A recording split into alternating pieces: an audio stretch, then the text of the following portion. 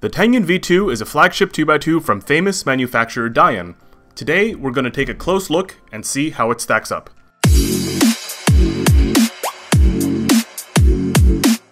Out of the box, this cube made me worry because the magnets were really strong and the feel was a little scratchy.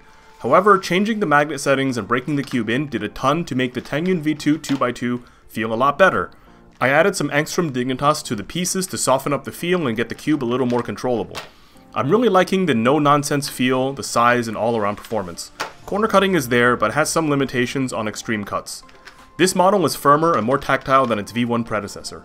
Overall, I approve of this puzzle. Now let's get to know this cube a little better. The TengYun V2 2x2 measures 51mm across and weighs in at around 65 grams. It comes with a comprehensive 2x2 solving pamphlet that features multiple methods, a Dayan cube bag, a screwdriver, and a magnetic adjustment tool. Dayan has a storied history when it comes to 2x2 hardware. The ZhanChi 2x2, the original one, was an event-leading puzzle for many years and has held many world records. Since the ZhanChi, however, and with the introduction of magnets, Dayan 2x2s have kind of taken a backseat to other models. The TengYun V1 2x2, released in 2019, drew general appeal due to its unique feel and good performance, but lacked support from top solvers. Now Dayan is increasing the customization options with the TengYun V2 with this cool magnetic adjustment mechanism. As mentioned before, the puzzle comes with this small black tool.